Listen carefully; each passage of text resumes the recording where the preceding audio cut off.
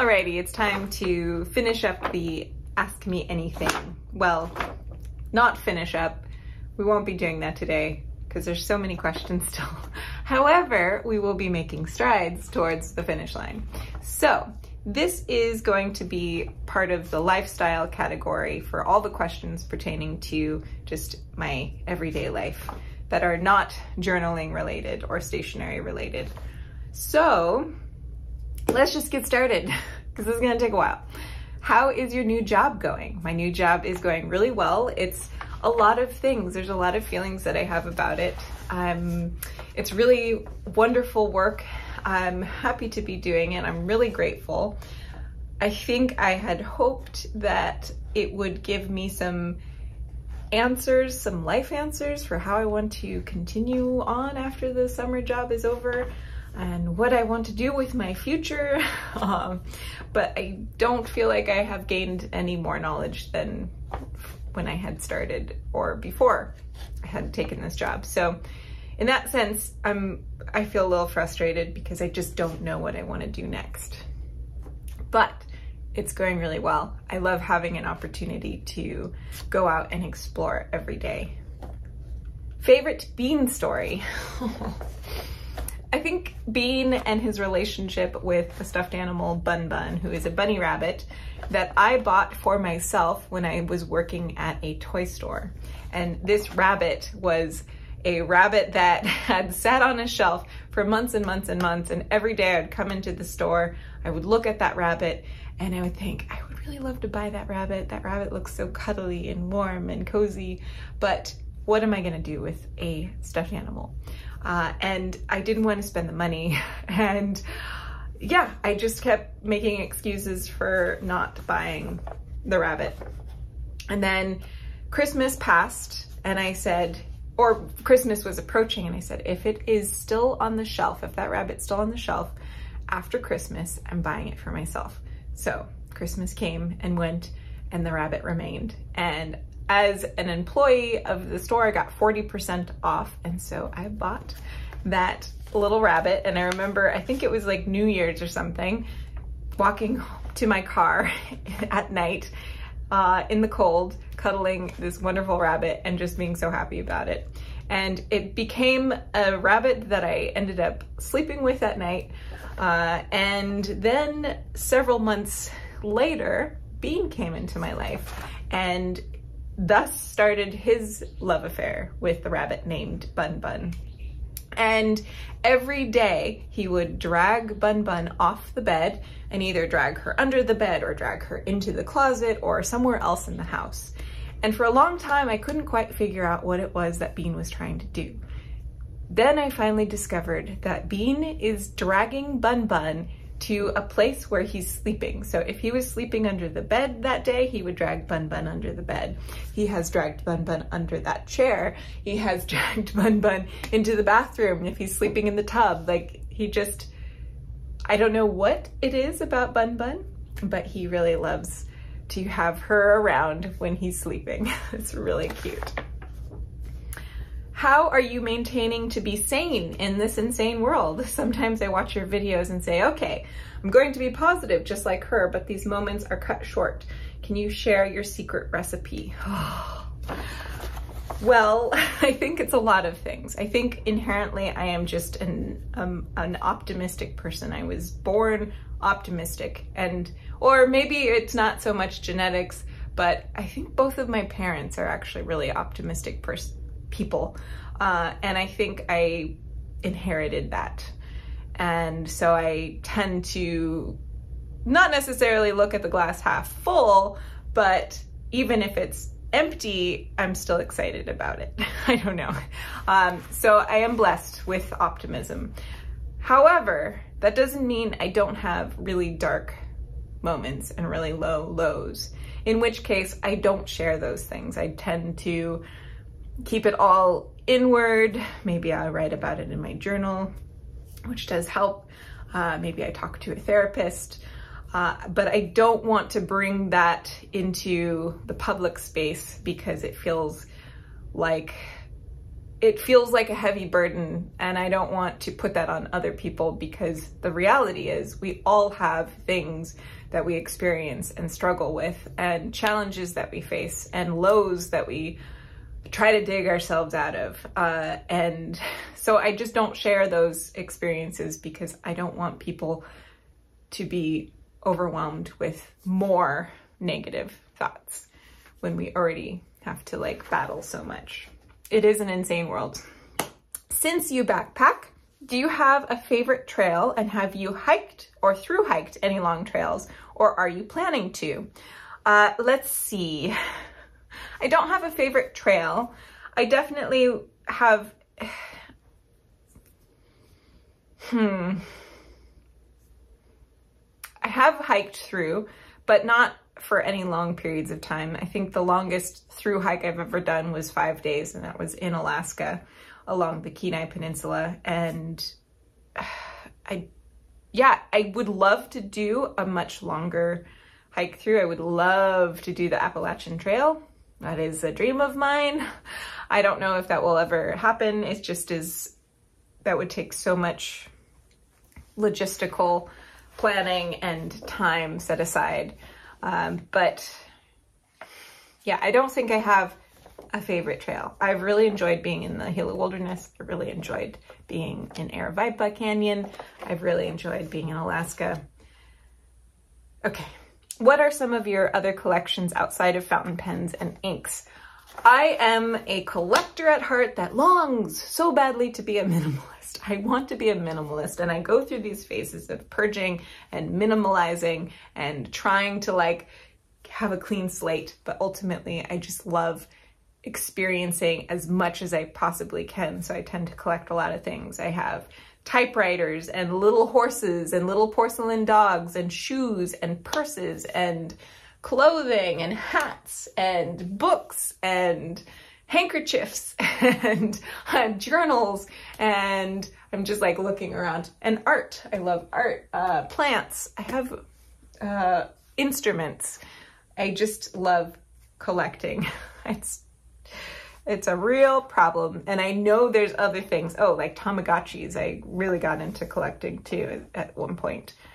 Um, music books, like you know, like like these things. I'm I have my ukuleles here on the floor with me because I was playing them. Anyways, so yeah, lots of collections. And I know I'm I'm forgetting something. Antiques, blankets, wool blankets, wool things. what qualities do you look for in a good backpack? Oh, I skipped one. I don't want to forget that. Um, Okay, so I mean, it's for me, it's more of a feeling than actual like translatable qualities. I like I like things that make sense to me and work for me. It's really subjective. I like like in a hiking backpack, I like a thick durable canvas. Uh, I don't like most, I don't like any of the like hiking backpacks, backpacking backpacks that you'll see in most um, outdoor stores. I just don't like the materials. Um, so like, I really love uh, Fjallraven's backpacks, like for backpacking, because they're made of a really, really tough, durable canvas and they have like really unique systems that are um, customizable and I like the colors. They have beautiful like earth tones. Whereas like you go to a hiking store and a lot of the backpacks are like bright, brightly, brightly colored, um, uh, like what's the word?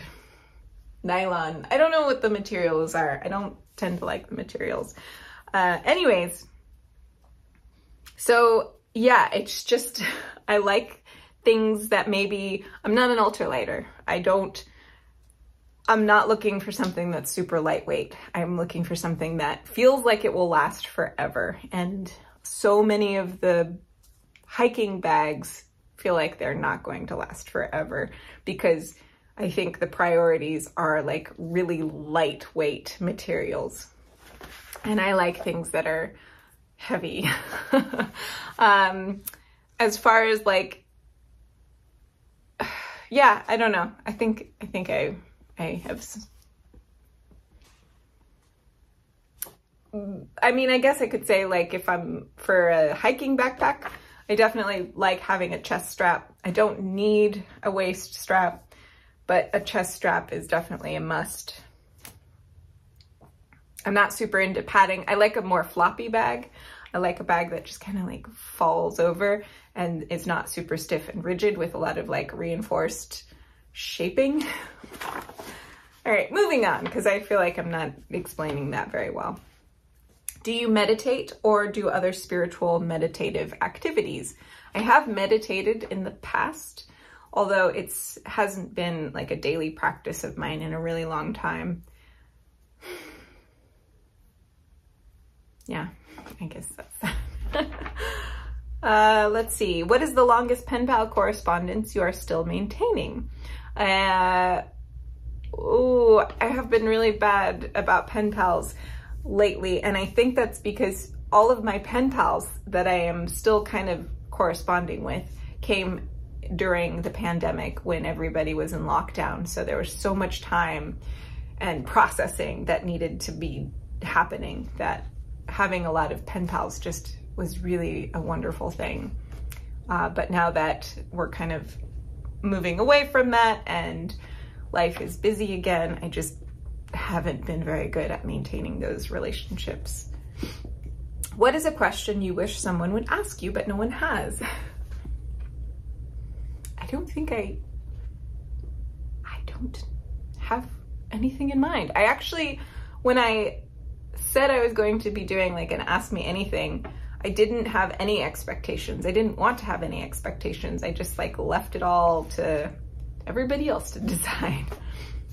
What is a, oh, sorry. Also, what would you think as a perfect regular day and why? I think a perfect regular day would just be waking up feeling really well rested and refreshed and super inspired and excited to greet the day and just, yeah, be really productive and have a lot of energy uh, and just feel good mentally and have like a quiet mind that's not full of a lot of anxiety or other th things. I think just waking up clear headed would be wonderful. What would be a trip you would like to make outside of uh, the US? Well, I would really love to do, I would really love to go to Scotland. I would love to do more of like a backpack through Scotland. I would love to go to Egypt and Jordan and Iceland and so either like these uh, really cold gray, green, rocky coastal places or these really hot places that I find historically appealing and interesting. Do you have any advice for people who have no prolonged hiking or camping experience but are looking to do so? Uh, just go out and do it. um, if you're nervous about doing hiking alone, then try to find a trail that is full of people so that you don't have to worry about that part of it and you can just enjoy being out there. Don't overcomplicate it. Don't um, don't feel like you have to do a certain amount of miles or time to make it an official hike. Just like go out and go for a walk in in nature and just enjoy. Sorry, that's probably not as detailed as I feel like I could go. Um, oh, and camping. Like if you've never done camping, camping can be one of those slippery slopes where you feel like you need a lot of gear and you just keep like digging yourself into a deeper gear hole and it's very appealing. I get it, like to buy a bunch of gear for camping, but it's not necessary. You can actually be really minimal if you don't mind like giving up some of the luxuries. Uh, and yeah, just keep them keep it all really approachable because if it's overcomplicated, then it will be too overwhelming to even try. Uh, let's see. What is your full morning routine? Um, it's really just, I mean, as of late, I wake up at four, I get dressed and I leave. So there hasn't really been a routine. Traditionally, I'll wake up, have my coffee, do a little bit of writing, and that usually is like something I do for the first hour. And then it's whatever I need to do in that day. Um, nothing else beyond that is really set in stone. How do you motivate yourself in life? What's in your updated backpack? And do you have a skincare routine? oh my gosh. Okay. Um, right now, my, my backpack, do I have it? No. Um, I've, I'm not going to go into that because I feel like that would just take too much time. But I did do a kind of what's in my backpack that's more geared towards my the summer job that I'm doing right now. I'd be happy to do something after the job, like to show a modified variation. Uh, let's see, skincare routine is like almost nothing at all because I don't, I don't wash my face regularly uh, and I don't do anything regularly. Every once in a while, when I feel like I need a little bit of self-care, I'll wash my face and I'll put like a face lotion on or if I'm feeling really fancy and I happen to have something, I'll do like a mask or something. But most of the time, I don't even wash my face before bed, which I don't know if it's probably. I don't have like, I'm not, no, we're not even gonna go into that. Okay. What motivates yourself? What do you, what, how do you motivate yourself? Um, oh, that's such a hard question because it's so emotional. Um, depending on how I am feeling mentally, if I'm feeling energized and inspired and clear-headed, I can do anything. I feel like I, I'm unstoppable. I feel like a superhero. But when I don't have that, when I'm not feeling that, then I'm not motivated to do anything.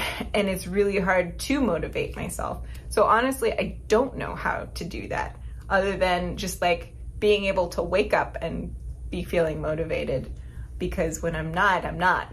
And I don't know how to get into that space. I would love to see some of your sketches. Maybe I will share some at some point. I honestly don't draw very often. I like, I like the idea of it, but it's just not something that I've ever really truly got into or had the patience for. I've done it. I've enjoyed it. Sometimes I have phases where I'm like, oh, I should, I should be an artist and like really practice this, but I, I end up not. Dot's breed. Dot is a Whippet Jack Russell mix. Have you always lived in the Southwest? And where's the best tacos in Tucson? Okay, uh, I have, I was born in Tucson, Arizona, and Tucson, Arizona was home base all throughout my life. And it's where I have lived for most of my adult life. As a kid, however, we moved every six months to a year constantly. We lived in Georgia and Alabama and New Hampshire and New York and California and just we were bouncing back and forth all the time. But Tucson was always home base, so it's where I consider home. Where are the best tacos? For like street tacos, oh, I wish I could remember the name of it. It's a little taco stand that is right on the corner of Fort Lowell and Mountain in Tucson, Arizona. And it's always there. It's always parked there. They have a pork belly taco that is really darn good. And if you want something quick and cheap and easy and greasy, that's a good place to go. Uh, for a little bit more of a traditional fast food taco joint, the Taco Shop, which is on Broadway and Highlander. And that has been an establishment in Tucson for years and years and years. In fact, in when I was in middle school in the 90s, it was taco the taco shop. So it's been around forever. And then if you want something a little bit more fresh and modern, uh, Seis Kitchen. Seis Kitchen at the Mercado St. Augustine is my favorites. One of my favorites. Okay. For a person thinking about starting a YouTube channel, what would be the top tips and advice you would give based on your own experience and journey, journey of filming, editing, etc.? Okay. I kind of approach the, this, I kind of, for better or for worse, this is my general approach to almost everything in life. Keep it really simple because if you overcomplicate it, then it gets really overwhelming or it becomes a source of frustration or uh, it becomes a money sink or whatever. Um, and keep it for better or for worse what you are inspired to do. Um, so like with my YouTube channel, it's kind of all over the place because I want to be able to share whatever I am inspired by at any given point because if I have to talk about something that I don't care about anymore or I'm not inspired about anymore, then that will come through in the videos and they just won't be enjoyable. So for me, it's really important to just be a lot more fluid and not like um, constrained to one particular thing. It also is really helpful for me to keep it really simple and do everything I can on my phone. I do my editing, I do my recording, on my phone. If I had to do a lot more work and put a lot more work into it, I think it would be a lot harder for me and I wouldn't be as consistent with filming on my phone. Whenever I'm inspired, wherever I am in the world, I can just turn it on and start talking or recording. And that's been really helpful. As I have done the YouTube thing a little bit more, I have like a tripod, which has been really helpful. I have like a, a film light now, which I'm using, which is also really nice. I just got that like, I don't know, a month or two ago. Uh, but for a long time, I just kept it really, really simple. And that was, that was good. Also, um, no, it just went away from me. I don't know where that pot went. I was like, mm, okay, it's gone. All right. I really respect how real you are in your YouTube videos, and you've mentioned occasional discomfort at being on camera, especially out in public. How did you overcome that and build your confidence to share your life and views, opinions in a way that seems so effortless? Hmm. I think part of it is just practice. I think part of it is when I'm feeling really inspired about a thing, filming at that moment is helpful because then I'm just so excited and enthusiastic to share that I feel less awkward about it. I think also having been a journaler for so much of my life, this feels like a natural step in that whole like process. This also feels like journaling in some way. And so it's easy to share Sometimes when I'm feeling really awkward or I don't want to be in front of the camera, doing a voiceover is really nice because then I can kind of put together my thoughts a little bit and um, just feel a little bit more at peace about a thing. Sometimes like the pressure of facing the camera and it feels kind of like being put on the spot uh, can be a little bit tricky. So it's helpful in those situations to be just really inspired and excited to do a thing. Uh, let's see. What is one place anywhere in the world you hope to plan, you hope or plan to visit and why? Well, I think I kind of already answered this. Scotland is one of them because I have, I love the, the, the landscape and the climate and the history. Uh, and it's a place that I had actually, I had already bought a ticket to go to Scotland in 2020. I was going to go for 10 days in June uh, by myself, my first time abroad. And I had booked um, some hostels and an Airbnb at one point, and that was the only thing I had planned. And I didn't want to look at where I was going. I didn't want to make any more plans. I just kind of wanted to be plopped down and figure it out as I go. And then of course the pandemic happened and that never, never materialized. But I would really love to go. Um, it just so happens that Brian also had plans to go to Scotland that year and then the pandemic happened. So that's something I really hope that he and I can do together in the future. I've also just always wanted to go to Egypt because like so many, I think I was, as a young, as a little girl, I just was obsessed with Egyptian history, ancient Egypt. And so if I went to Egypt, I'd want to do all of the touristy things. Um, excuse me. And I'm having allergies. And uh, yeah, I just, I would really like to go to Egypt and I'd like to go to Morocco and just eat a bunch of food and smell all the smells and hear all the sounds and see all the sights. Uh, let's see. Are you originally from Arizona? Yes.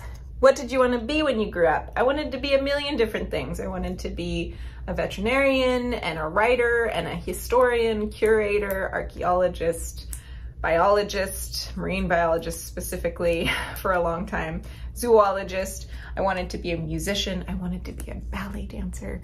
I wanted to be a mathematician. I wanted to be oh, a chiropractor. Actually, that was more of my dad's thing. he really wanted me to be a chiropractor so that I could help him out. I don't know if that was ever my dream, but as a kid, I, I used to say a lot that I would be a chiropractor. Uh, yeah, just everything. I think, and I still want to be everything and do everything. What's your go-to road trip snack? Oh my gosh, one sec. I don't, I don't want to edit this video. so I'm sorry. I have to, I have to do that. I'm also going to take a sip of iced coffee because my throat is starting to get a little hoarse. Okay, uh, go to road trip snack. Dried fruits, nuts, jerky, um, top five movies. You don't really strike me as the movie type, but maybe you just don't talk about it much. It's true, I'm not much of a movie person. I tend to just like thinking about having to dedicate that much time to sitting in front of a screen like is really hard for me. And the times that I have gone to the theaters, I'm like, is it gonna be over yet? There's like, I remember one of the more recent uh, Star Treks, like was one of the few times that I was, I had totally forgotten about the time and the movie was over and I was like, wait, what? It's over? I don't want it to be over. I'm not ready yet. I really enjoyed it.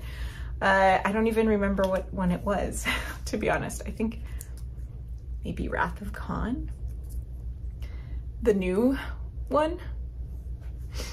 Mm, I really love um, iRobot. I've said that before. Like that I'm not, yeah, I guess I'm not a movie person. I, P.S. I love you. I'm embarrassed to say, like, I really like that movie. I just find it really charming. As a kid, Now and Then was one of my favorite movies. I'm sure I'm thinking of forgetting a lot of movies, but yeah, I'm not a movie person. Uh, let's see, what was your favorite toy as a kid? I spent a lot of time outside and that was like, I would say that was the toy that I played with the most. But I really, really loved American Girl dolls.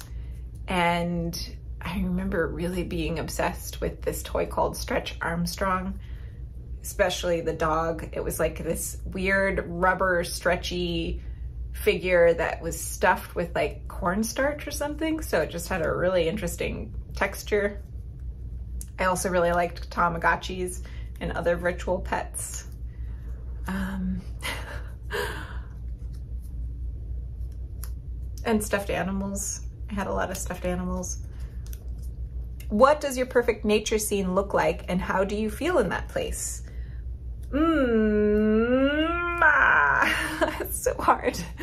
I definitely would say I probably am drawn to spaces where I can see the horizon. I really love having an open view. I love meadows and grasslands and tundra. I love mountains though. So not necessarily like plains where it just is an endless horizon. I like some like an open space that is bordered by something really interesting, like really epic mountains or or an ocean or something. Uh, I have definitely felt really claustrophobic in heavily forested areas or places where I can't see the horizon. Coming from the Southwest where it's always like big skies. That's definitely something that's challenging for me. And how do I feel in that place? Just grounded, at peace. Everything is perfect, perfect balance, harmony with the world. Like it's just, I don't know, to feel the earth beneath my feet, like it just, there's like this, a connection that's made and it feels so good and it feels so empowering. Do you ever annotate or draw in the books you read? Um, I think I've, no, I've never drawn. I have underlined particular passages uh, that I, or earmarked even, that I thought were interesting quotes or inspiring messages but I don't tend to to write or make notes. I gotta blow my nose. I'm so sorry. uh, would you ever be interested in recording any of your ukulele compositions? Yes, absolutely. I would love to do that. I actually have a friend that does a lot of recording and he and I have talked a lot over the past couple of years about doing something like that and then our lives just keep happening and they're busy and COVID and just a whole variety of blocked roadblocks have like obstructed us from doing that. But I hope, hope, hope that we can do that one day in the future. What does your significant other do for a living? Brian works for a um, conservation organization called Sky Island Alliance, and he primarily is in charge of um, vol the volunteer organizing, um, camera or wildlife camera checks, um, um, wildlife monitoring, springs assessments, springs restorations, and other types of restoration work. Mm, then he does a lot of office stuff that I know he's not excited about. He would much rather be out in the field all the time, every day if he could. Uh, let's see, how's life? Uh, right now, life is really great. I have a purpose. I feel productive. I'm definitely tired. Waking up at four for multiple days in a row is a little bit like against my natural state. So I do feel pretty fatigued, but life is really good right now. It's nice to have a purpose. It's nice to be productive You've spoken occasionally about doing seasonal contractor type jobs, painting home repairs and so on. How did you get into that and learn those skills? Well, it all started when I was a little kid because my dad worked as a handyman all the time. So he had like his engineer job, his day job, and then he was a handyman on the side on the weekends and in the evenings. Uh, and so I would follow him around and I would get paid to help him out. And then I did that uh, basically all through high school. And then um, my ex-husband's family, they have their own business in which they do home renovation and design work. And so I have learned a lot from them and I've worked a lot with them. And when they're here in Tucson for the winter time, I have a lot of work with them. I get to do tiling and kitchen renovation and all sorts of random things, plumbing and electrical work. Uh, and lately I've actually, well, before the, the cuckoo job that I'm doing right now, I was actually helping my dad build a house and doing some electrical work and putting in windows and things like that. So I've just been fortunate to know people who do that kind of work and I've been able to tag along and learn and get paid. How are Fig and Bean doing? How have I been?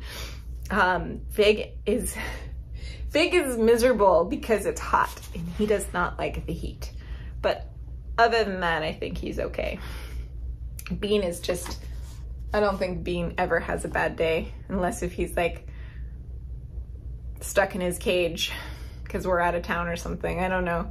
He's just a happy-go-lucky kind of guy. And like I've said, I've, I'm doing I'm doing good right now.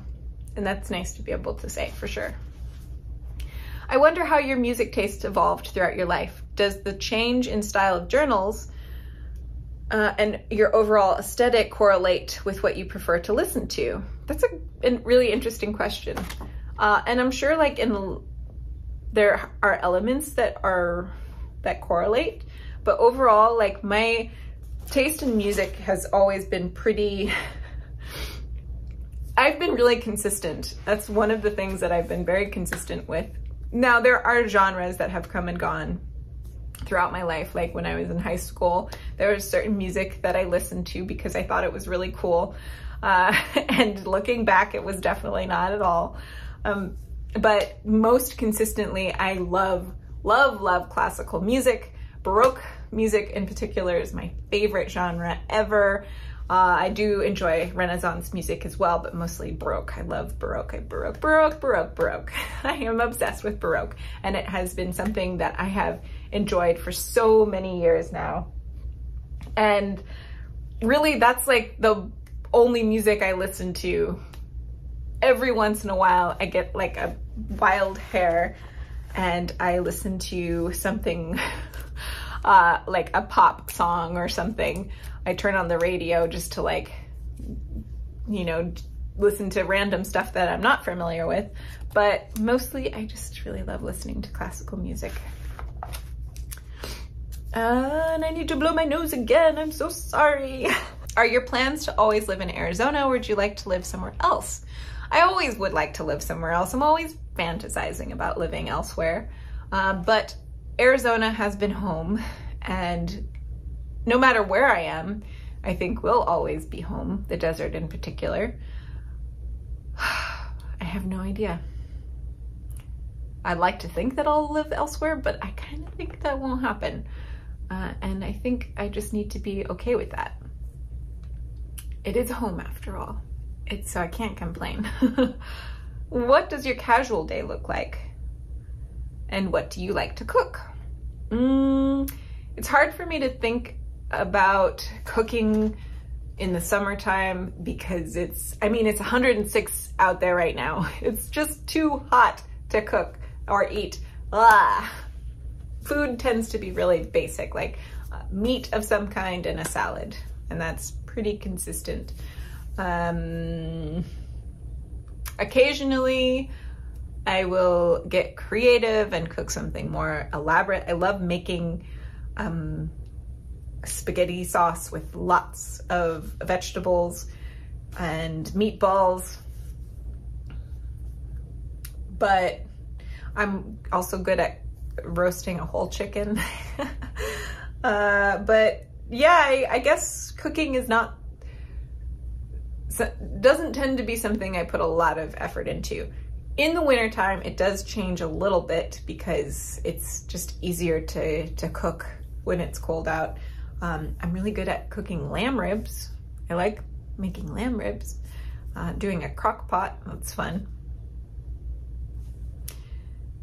Uh, and my casual day, hmm. I mean, casual for me could be like going on a leisurely hike or going on a walk with the dogs or playing a video game or typing or reading a book or journaling or playing music. Uh, laying in the hammock, taking a nap. All right, let's see. How did you introduce Bean and Fig? So, oh, and which one did you adopt first? Fig came into my life first. He is a retired racing greyhound. He retired at four and a half years of age and I adopted him only two weeks into his retirement when I got him, he was beefy. he was quite the athlete. He had back thighs that were just like thunder thighs. Anyways, I knew I had wanted to adopt a greyhound and it was something that I'd wanted to do ever since I was a little little kid. And finally the opportunity came. And so talking with the adoption agency, it was kind of a long process. It took like three months or so to find a dog, but I definitely wanted a greyhound that was small animal friendly because I wanted to be able to introduce the dog to a variety of animals, cats and small dogs and children and other critters because I didn't know what my future would look like. And I wanted to not have to worry about that. And so that was partly why it took a while because they had to find the, the right greyhound that didn't have a super high prey drive and would be friendly with small animals. And Fig was one of them. And that was it. So he came into my life. And then, I don't know, maybe a year later, I decided to get Bean. And at the time, I was renting a little apartment that had a room with French doors. And so that became Bean's room. And the French doors were like glass paned. And so Fig could see Bean through the glass, but he couldn't get at Bean. And so I just spent a lot of time with Fig on the outside of the room and me and Bean eh, on the inside of the room and Bean just running around and observing Fig uh, when he's when he stopped showing any interest at all, where he didn't care anymore about about Bean, I started to bring him out into the the house and kind of carrying him around and letting Fig sniff him. And then when he stopped showing interest at that point, I went on a walk with the two of them. And and it just kind of evolved from there. It took I don't know, maybe a month. It was a I took a long time to just make sure that Fig was not going to eat Bean. But I felt confident that he would learn and I just I've I've done this before where I've introduced dogs to small animals. I had huskies and ferrets and huskies and rats and huskies and hamsters and huskies and mice and huskies and lizards. I've had a lot of small animals throughout my life and dogs that have had like high prey drive. And um, have been able to introduce and it just takes some time and patience and observing. When they don't care anymore that's usually a good sign.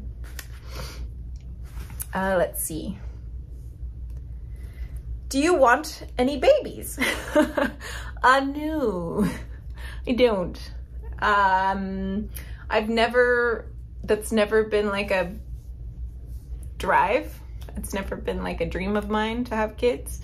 Uh, for a good portion of my life, I always said like, I'm not interested in having kids, but you never know because life is like that and full of unexpected things. And if it happens, it happens. Um, but it's never been something that I have planned for or prioritized.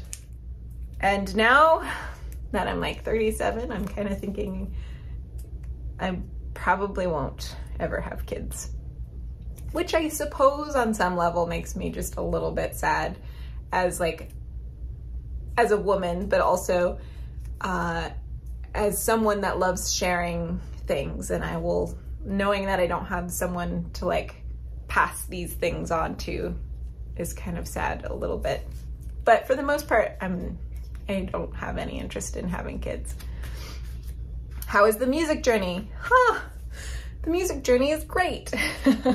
right now, my instrument of choice has just been the ukulele. I've been really enjoying learning some new music pieces. I actually got this graded repertoire for ukulele classical volume one that I've really been enjoying.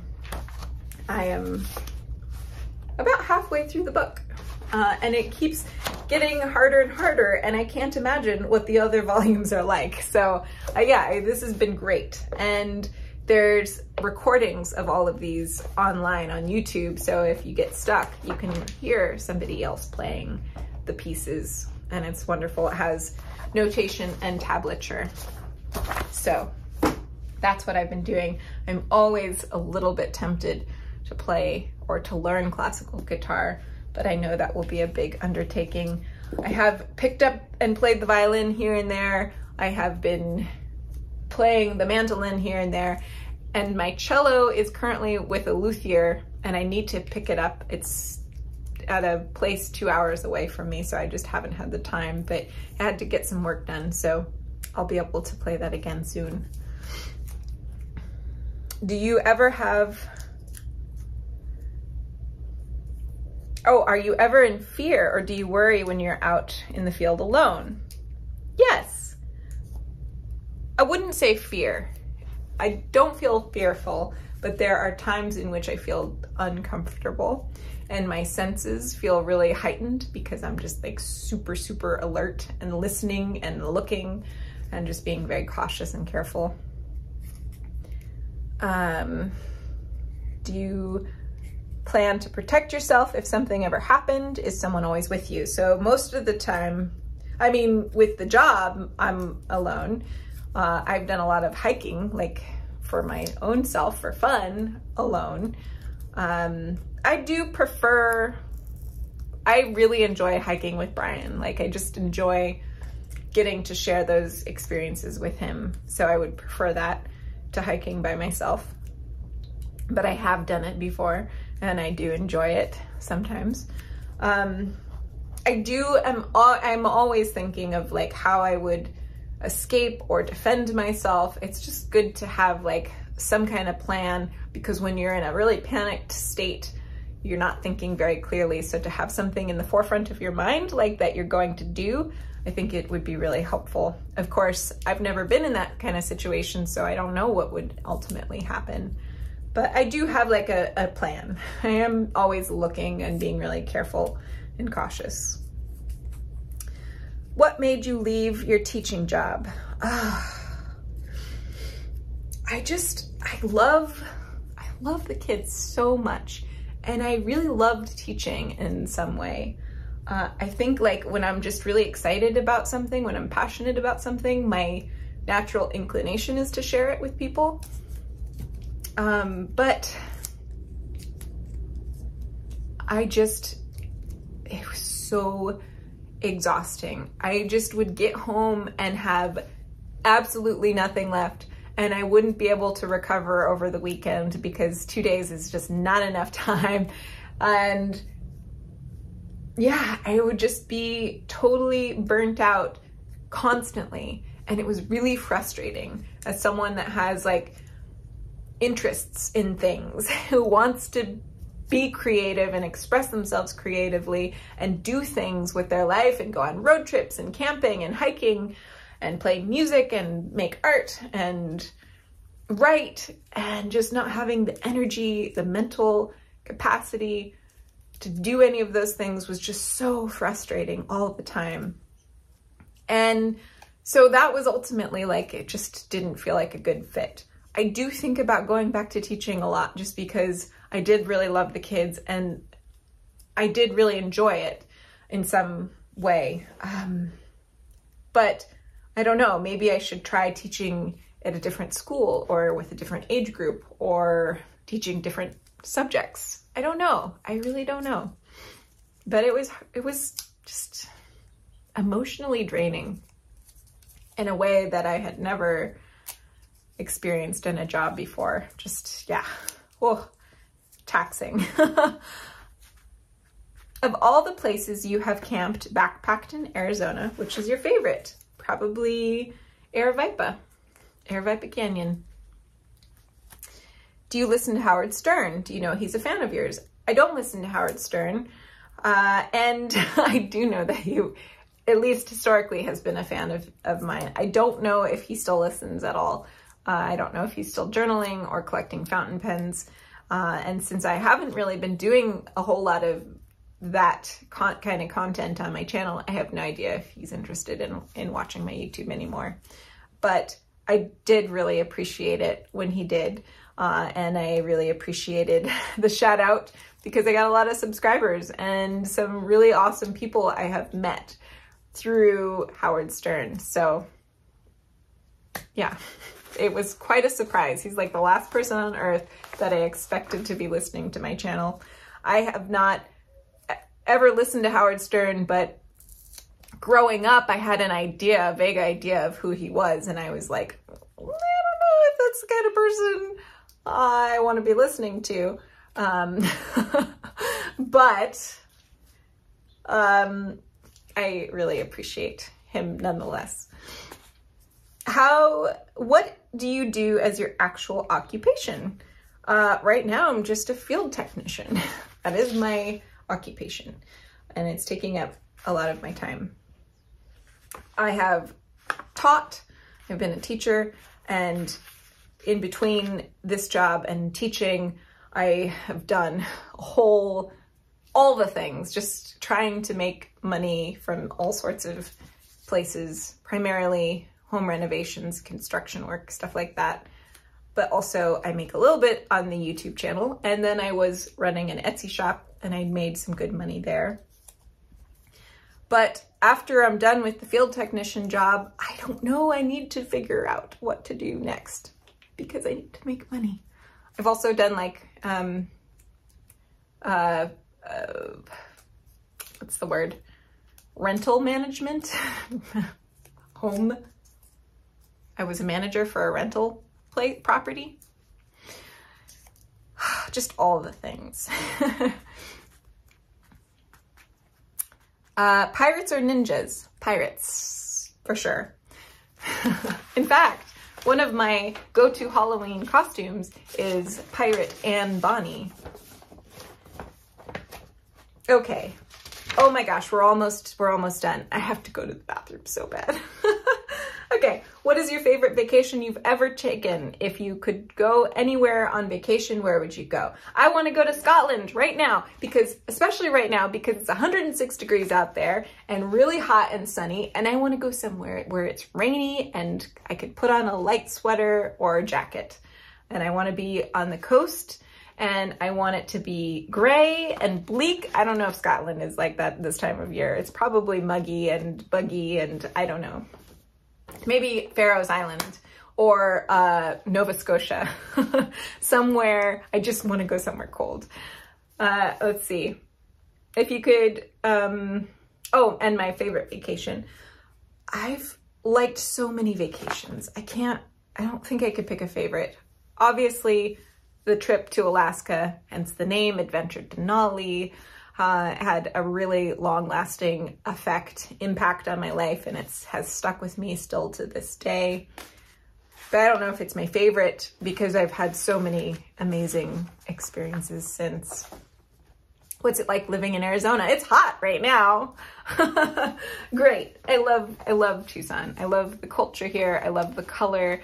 I love the history. I love the desert and all of our really interesting flora and fauna. This is the most diverse desert in the world, so it's just really exciting to be here and get to see it. And there's definitely a source of pride to live in the Sonoran Desert that isn't bleak and desolate. There's so much life and it's really diverse and it's just, it's a beautiful place. What is the weather really like? It's hot. it really is. It really is hot uh, for most of the year. And then winter is like heaven and it's perfect and everybody is really happy. What is the story behind the silver bracelet you always wear? Oh, this is something that I got, well, I think it was given to my mom from my grandma, and then my mom gave it to me uh, many, many, many, many years ago. And I can't remember if it was given to my mom first and then to me, or if my grandma gave it directly to me. I just, I don't remember. I've had it for so long. And then when I met Brian, he was wearing silver bracelets at the time. And so I was like, I don't know. I was like, I should wear that. And I have been wearing it every day since and I never take it off. All right. Anyways, what is your degree and what did you teach? Um, I don't have a degree. Uh, it's not something I like to talk about. It's, I feel, mm, I always wanted, I wish I had a degree. I love school, I love learning, I could be a career student, but every time I have gone back to college, and I have gone back to college many, many times, and I'm always thinking about going back to college, ultimately, I feel like I, this is a lot of money and I can learn all this stuff without spending this money. Uh, originally, I got, I was really fortunate. I had a lot of scholarships, but I was so indecisive and I wanted to learn all of the things. I studied music and history and dance for a little bit and biology and writing and art and I just kept switching everything up constantly because I wanted to learn all the things that I couldn't decide on what to commit myself to and then my scholarship ran out and that kind of like that ended it. I ended up becoming an after school art teacher and then at that school they then wanted me to teach art during the day and then they wanted me to take on a couple more responsibilities and before you know it, I was teaching geography and art and math and sometimes science and sometimes writing and just all the things. Um, and it was really, it was really cool to have those kinds of responsibilities. It was also a little bit frustrating because I didn't have a degree. The parents just knew me as the the person that hangs out in the classroom. They didn't realize that I was actually teaching their kids and creating curriculum and staying until seven o'clock at night preparing to, for a presentation the next day. Uh, so that was hard for sure, like not getting that kind of recognition. And maybe going, if I were to go back as a teacher, I would actually get a teaching certification and then I would feel maybe better about it because then I would the parents would know that I was teaching their kids. Um, can you make more videos? Yes. if you could live anywhere, money was not a factor, where would you move? Oh my God. if money wasn't a factor, then I think I would have a house like all over the place. I would have a house in the middle of a cabin in the middle of nowhere that was right on the edge of the woods with a big meadow, maybe a creek that ran through the property uh, that was like hours away from any sort of civilization. I would also want an apartment in New York City for those times where I felt like I wanted some culture and noise and music and sounds and smells and chaos uh, and coffee shops. And I also want to live in a little town, a historic town that has a really beautiful little downtown center and beautiful historic homes and is walkable. And I never had to drive anywhere. I could walk everywhere. And there was like a little bodega and a little coffee shop and a little bookstore. And that would be, that would be my ideal town. Livingston, Montana has a lot of those things, but it's so darn expensive and just keeps getting more and more and more and more expensive. Unfortunately, those places are really popular and so they tend to be really expensive. Do you have any new leather working ideas or prototypes? Not at the moment. How profitable is having a YouTube channel? Are you planning on settling down and having kids?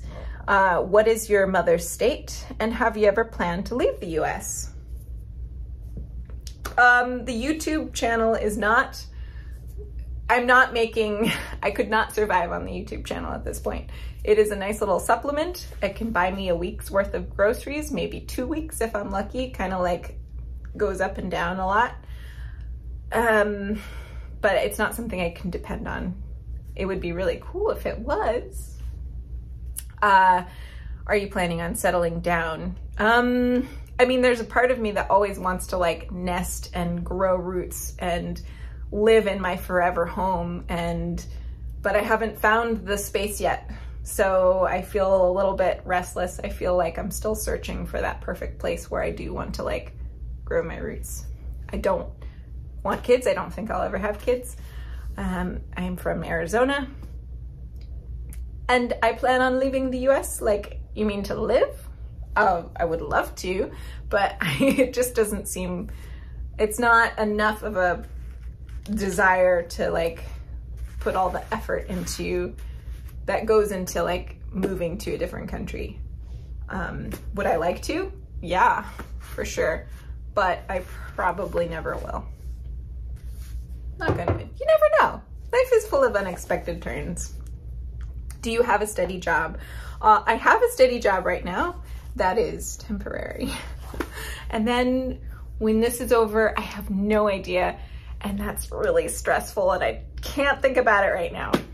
So that is the end of the lifestyle questions. The last part to this video is for ball jointed dolls, which is a hobby that I was invested in for a very long time. And I have some people that would really love to hear me talk about it some more. So thank you all for watching. I'm gonna go pee and I'm gonna rest my voice. I hope you enjoyed this. I'll talk to y'all later.